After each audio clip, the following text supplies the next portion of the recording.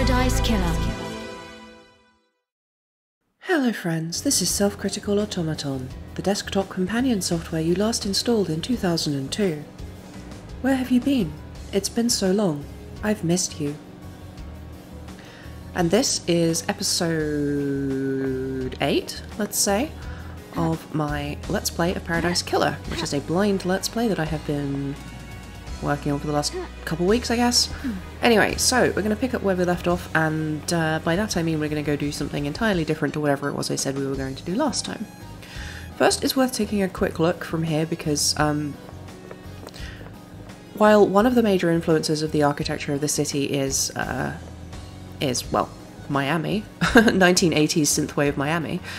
Uh, another major influence is Japanese architecture, particularly sort of suburban, big, like outskirts of big cities, suburban Japanese architecture, um, which is probably at its clearest with this embankmented river with the uh, rather lovely, snazzy little flags dangling above it, which probably have a proper name, but I don't know what it is.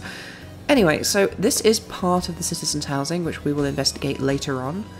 What we're going to do first today, before we do anything else, and uh, before I get distracted and start rambling about some bullshit, is that we are going to actually go take a look at this bar, because up there is Sam Daybreak, the nearest by of the various syndicate members that we need to go talk to.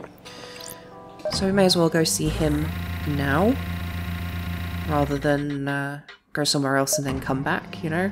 It's very important to be efficient with our wandering since we have literally all of the time in the world.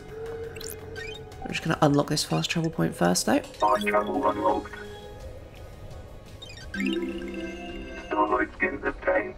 Escape to the city. The city hides. The city protects. You need to hide yourself in the city. They're coming for you. Ominous. I wonder if that's literal. I wonder if uh, someone or something is actually coming for us. Dead Nebula, the delicious... Acid's favourite, the delicious new premium beer from Crimson Acid and Dead Nebula. And another piece of music as well.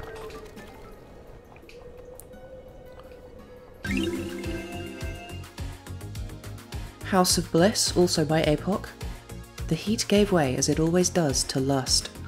Ours was a life of indulgence. We were fierce, we were alive.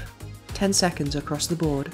I wonder if I can reread those. Hey, uh, I'll talk to you in a second. I wonder if we can reread those from inside the thing. Actually, can I get up here? I bet the secrets on your- I bet the secrets on your roof that you're not telling me about.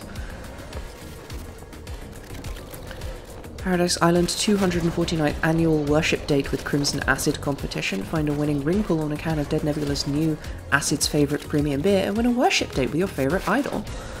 I wonder what it means that, um...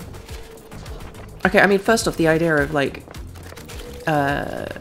You know, there's, there's something fun happening there, combining the idea of the idol in terms of, you know, a music or fashion idol, and uh, a literal sense of a an object of worship, which is interesting, but it's also interesting considering what does that mean in the context of this island where worship is reserved for the, the ancient dead gods? Um, is Crimson Acid in some way stealing worship that should be directed towards the gods, and what does that mean for her in a cosmological sense? Island Sequence 23. This one is nearly perfect. It lasts for so long. Carmelina is truly a genius. Right, okay, well, before I go climbing around on the roof and crawling around and so on, let's uh, let's have a quick word with Sam Daybreak, Sam Daybreak. Bar Master. Also a cool skeleton. Like, I do like this guy's vibes. This seems pretty rad. Hey LD, heard you were back. Sam Daybreak, Barmaster. Born in the shadow of the dragon in Turkey in AD 999 under the sign of Shadow Zero. Sam took to killing like breathing. He killed to survive on the streets and then killed as a soldier before just killing for fun. He became a hitman extraordinaire under the banner of Shadow Zero. He met Lydia on the battlefield. They battled for two weeks, destroying the town of Raz 009. Lydia claimed victory and stabbed Sam through the heart. While fighting, he had fallen in love with Lydia and in his moment of death refused to leave her. His skin fell away and his skeleton hardened, becoming a deep red as he confessed his love for her. She too had fallen for him and accepted his confession. They fled to get married. He renounced his murderous ways and refuses to commit harm to others. Starlight is filling you in, isn't she? Have you forgotten about us during exile? I suppose isolation clouds the mind, doesn't it? Hey Sam, it's been a while. Nice jacket. Oh, you noticed? It was a gift from Lydia. She always had good taste. Doesn't she? Lydia has missed drinking with you. I miss you two as well. You're the only normal people on these islands. That's nice of you to say, LD. It would be nicer if you were back under better circumstances, though, wouldn't it? The Syndicate's in a bad place. It's devastating, isn't it? Our friends and colleagues have been taken from us. There's not a lot of wailing grieving going on. We've existed for unknown epochs of time, haven't we? It gives everyone a different perspective on things. How's the whiskey blend on this island? Some vanilla, caramel, spice, and just a hint of smoke. The spice is unusual. The whiskey tastes like the island it's made on, and this has been a peaceful island. The caramel and vanilla are in harmony. The spice twists up your mouth, it coils and slips between the other flavours. What about the smoke? It's there, but barely. You know what they say about smoke, though, right? Is there anything I can help you with? Alright, time to start grilling him. This is this list is gonna get unmanageable the more people we meet. Do you really think Henry did this, Sammy? Well, it's hard to say, isn't it? It's a hell of a crime. What do you believe, LD? I'm still making my truth. Akiko found him with council blood in his stomach. That's messed up, isn't it? He's clearly a sicko. And that's what I'm trying to work out. Can you think of anyone that would want to kill the council? Kill the council, the crime of the century, or the millennium? I don't think I do, LD. I'm really sorry I can't be more help. Everyone here is a loyal member of the Syndicate, aren't they? I hope that's true. So, where were you at the time of the murder? Am I under suspicion, LD? Sam, I'm an investigator. Of course, LD, we must all cooperate, mustn't we? Lydia had taken me to the Paradise Gates. I finished packing up the bar, I spent a few minutes taking the place in. I couldn't have expected to be back here, could I? What time did you leave the bar? I let Yuri know I was good to go. Lydia came to get me and we went to the gates. She picked me up at about 10 to midnight. We arrived at the gates at about 5 to midnight. Any proof? The nightmare computers at the gates will have the logs. I'll check them out. So, I mean, that corroborates what Lydia says, I guess, but I mean, they're married, so it makes sense that they would back each other's story up and have an opportunity to get their sort of story straight as well. Um, because she did say that she was dropping someone off at the time of the murder.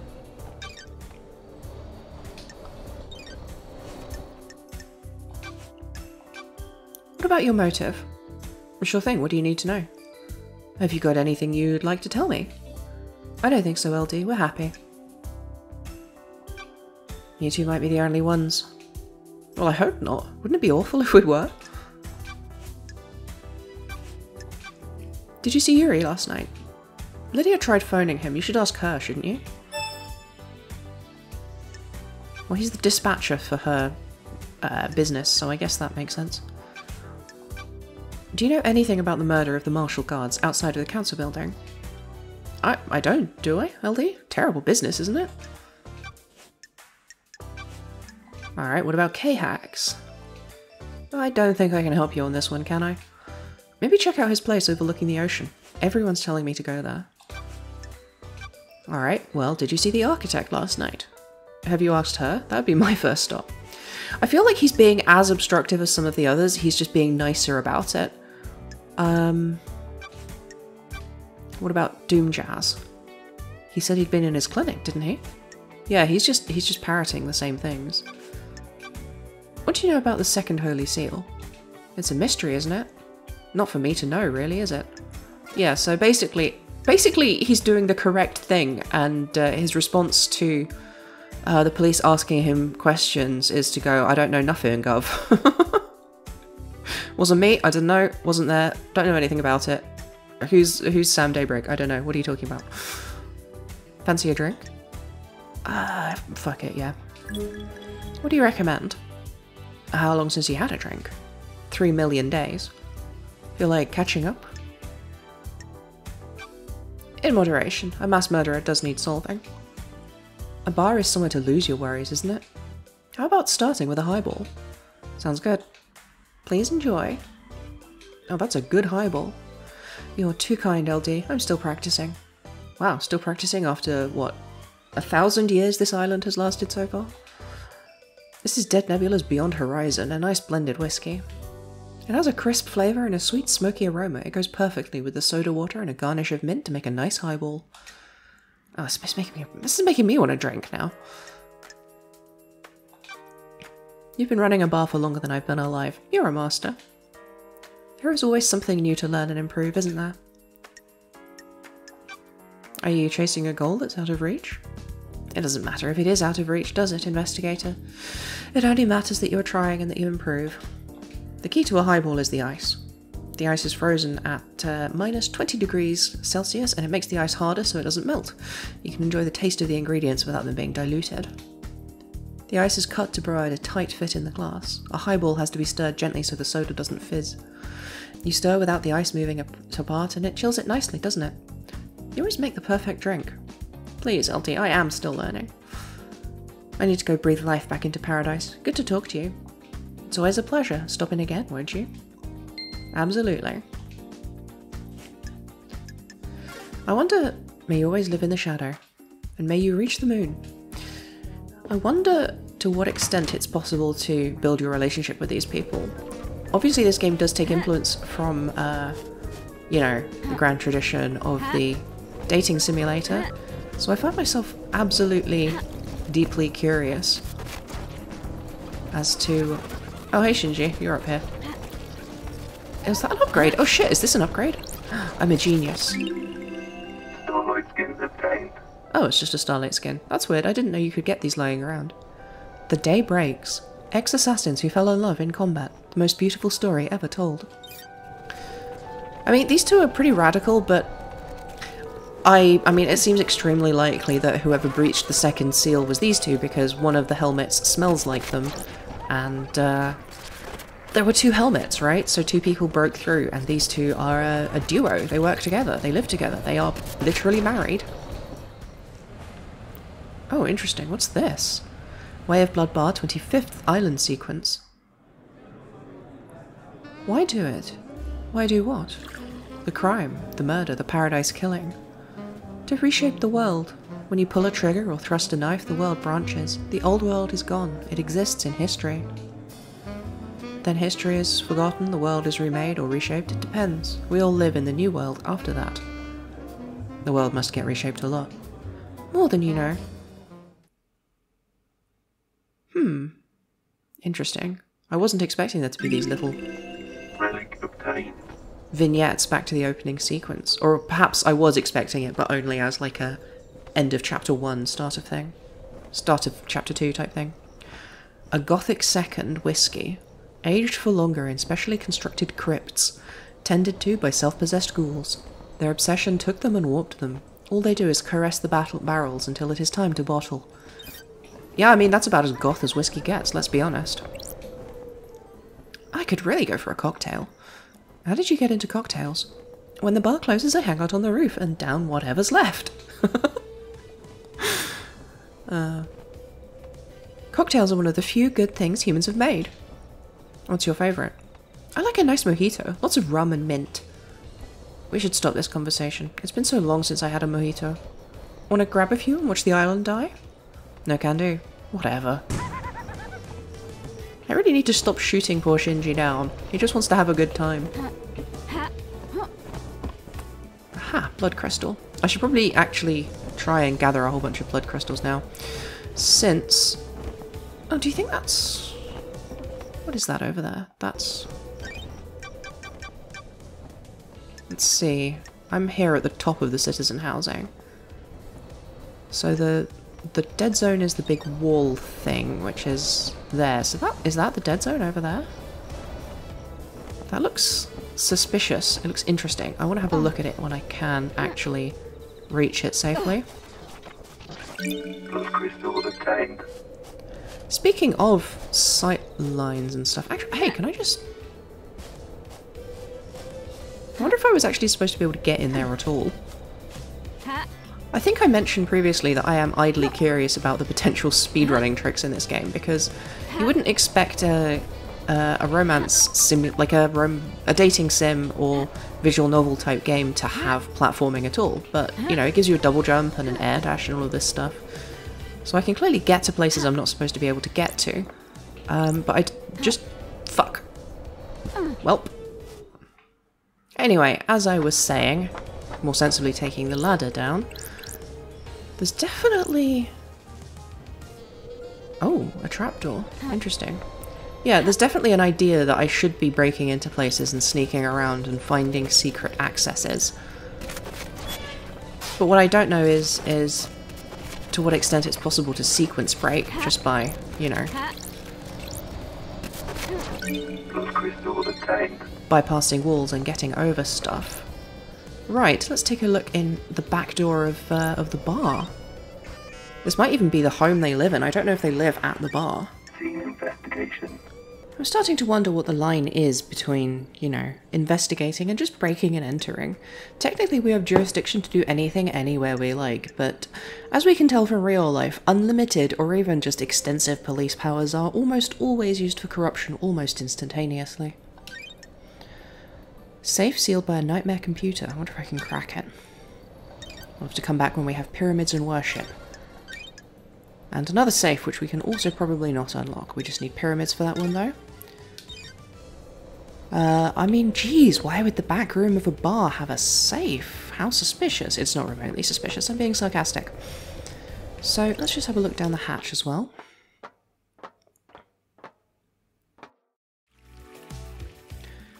Secret tunnel.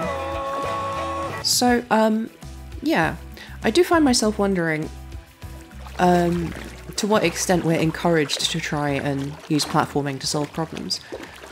I would have assumed going in that, uh, like, these places are constructed to show us things that we can't reach and encourage us to try and reach them. Going into this, I would have assumed that we were kind of supposed to be, you know, opening up pathways through conversations and talking and convincing people of things and maybe finding secret switches or doing switch puzzles. As soon as it gives me platforming tools, however, I immediately find myself attempting to solve problems with platforming.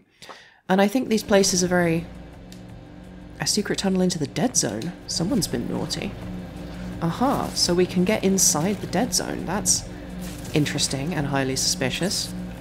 So this is what a place looks like when it's been all fucked up by uh, by demon intrusion, I guess. Anyway, I'm just going to finish my thought before I get completely distracted, which was that, um... Oh shit, they're distilling stuff here. Uh, that was not the thought. The thought was that... The, um... Yeah, the, the simple fact that we are given platforming tools immediately makes me see the environments differently, and whenever I see something I cannot currently reach, instead of attempting to reach it through some kind of narrative progression, um, or puzzling, I am just immediately like, well, I guess I have to solve this with platforming. Which is immensely freeing. It's nice to just feel like it's okay for me to jump over walls and climb up stuff and try to sequence break on purpose. Uh, the fact that I'm given those tools kind of enables me to use those tools. This is a whiskey distillery. It's in use, but the dead zone is supposed to be sealed. Has Sammy been making an illegal blend? There's something odd here. This is a medical grade blood chiller designed to keep blood cold when it's being transported. There's an empty blood bottle inside. The label has been scratched off, but I can just make out a K as the first letter of the name. Blood not found. This bottle has been scrubbed clean, there's no trace of any blood. After being used, this was cleaned to remove the evidence, but why keep it? Paranoia? No one comes into the dead zone, so it wouldn't be found and it helps incriminate others if this is unaccounted for. I need to find out what this is linked to. Just going to Sam about it without context will make him clam up. Interesting. So yeah, this this is more evidence for my literally everyone is involved in this co uh, conspiracy. Which, uh, hmm. Which... What name? A K. The first letter of the name is the K, okay. So Akiko, Carmelina, nobody's got a K name, except for K-Hax, I suppose. So I could that be, I suppose it could be K-Hax's blood. Um, or possibly, Let's see. Kafka Memory, maybe? Kafka Memory. Who was the guy who who was the guy who distilled all of the money from his blood? One of these assholes was this guy. Leon Disaster. Okay, so that's someone else. Because I thought maybe they were distilling illegal money, duplicating the guy's blood or something, but Kafka Memory is someone else entirely. Isaiah, Nicolina, Jahim, Madam Complex, Balthazar Tears, just K-Hax. So that, maybe that is K-Hax's blood. Huh. The mystery deepens. But yeah, so um, I wonder if it. I wonder if it is Lydia and Sam Daybreak did this and attempted to, and then Grand Marshal Akiko and Doctor Doom Jazz are trying to cover their own asses, uh, or Akiko's ass at any rate. Um, the nature of which we have yet to discover, and we will never discover because the characters in this game are two-dimensional and attempt to always face you, although they are, as I've described previously, not actually sprites. They're not actually two-dimensional. But they won't show you their butts, and therefore we are fundamentally unable to assess the nature of Akiko's butt. Let's have a look at this.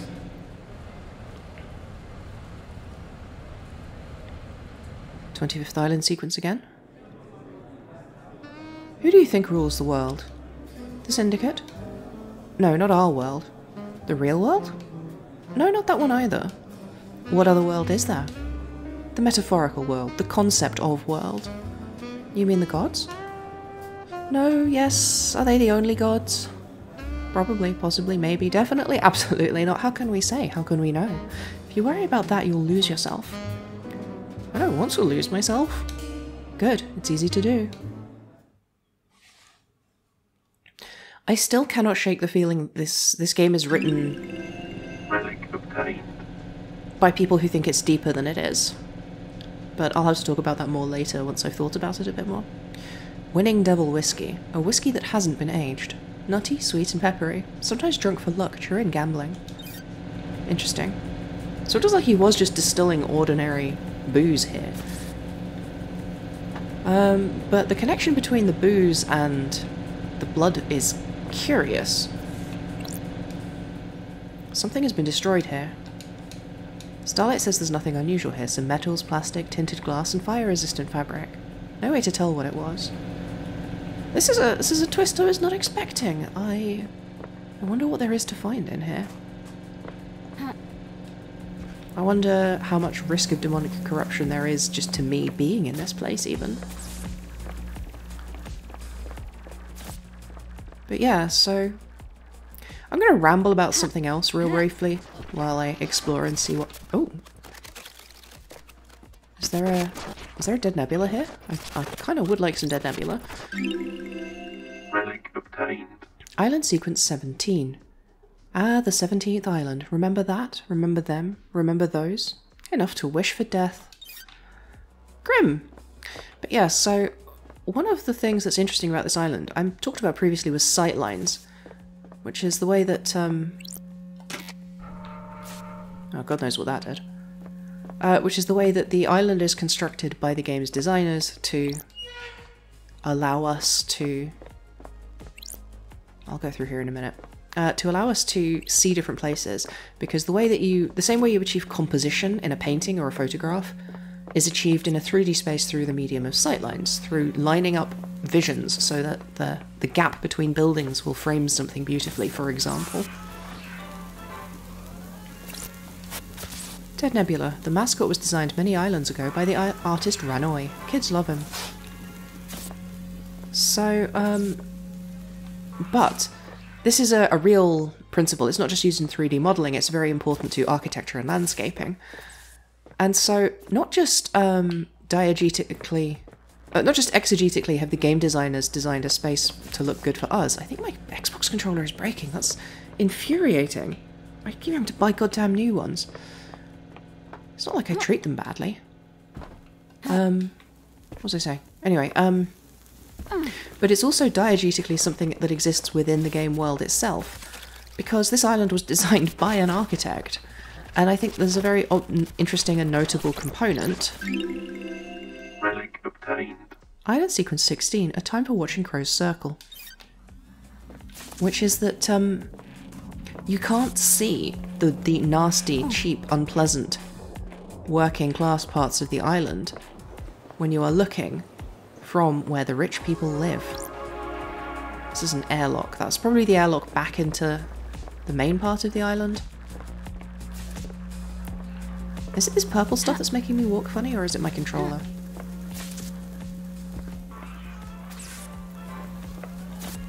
I swear that was a... There was a dead nebula machine here. Anyway, so from the place where the wealthy uh, members of the island live, the syndicate, you cannot actually see the factory. You cannot see the agricultural gardens. You cannot see the reality folding drive. Um, they're actually hidden from view by the temple, which itself kind of factors into this like absolute desire to not think about it because this is paradise, isn't it? It's their paradise, just for them. Um, but it's not a paradise for all of the miserable people kidnapped and forced to work here. Do I have? Oh, I do have blood crystals. Good. Time to get some illegal soda. Delicious contraband. Relic obtained. Blood Fountain, an energy drink that makes you feel like your blood wants to burst out of your body. A good pick-me-up. Interesting, interesting. There's probably some other things to find. I want to try and reach that radio antenna, which I suspect has some kind of cursed music for us.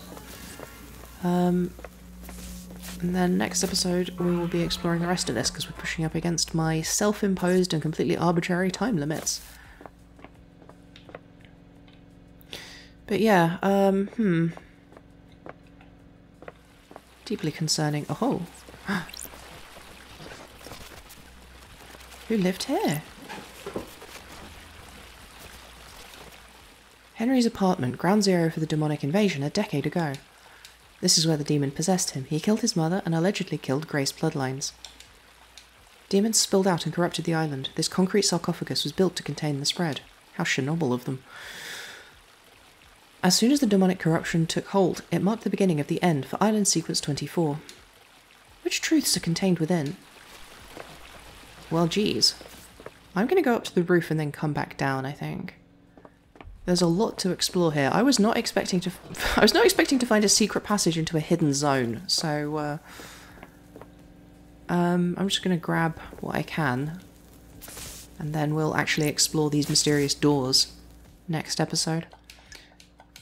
See what we get from this temple. Relic obtained. Dying from sadness. A sentient rock that drifted to Earth in the wake of the other gods. A despair philosopher. Oh, I think these are actually these are movable, carryable copies of the same information that we get from the statues we can interact with. I think. Interesting, because I'm sure I read that before on one of the static statues. I bet there's a way up there. Let's see. You can't redirect once you're in air. There's actually fairly solid platforming mechanics in that in that case. Um, being able to redirect yourself in the air is, is a really common thing in a platformer, but it, it makes it a lot easier to, to platform, obviously, since you don't have to worry about hurling yourself into space. So if you do have to think about being careful about your motions, it's rather harder. So yeah, interesting. So the plot has thickened to the point of becoming gelatinous and um, congealed. But I don't seem to be able to. I thought there would be like a field recording or something up here, like the last one we found, since that was also near a radio tower. Anyway, um, I'm gonna I'm gonna dive back down the stairs, and then that's gonna be it from me for today. Join me next episode where we continue to explore the dead zone and uh, ponder what on earth is going on with um with our good buddy Sam Daybreak and why he is distilling hell whiskey out of this cursed quadrant of the city. So, that's going to be it from me. Thanks for watching. I'll catch you next time. If you enjoyed this, please like, subscribe, and share. I also stream on Twitch and I now have a Discord server for stream scheduling. You can contribute to my existence on Ko-fi or Patreon, and all of those links are in the video description. Thanks so much for watching.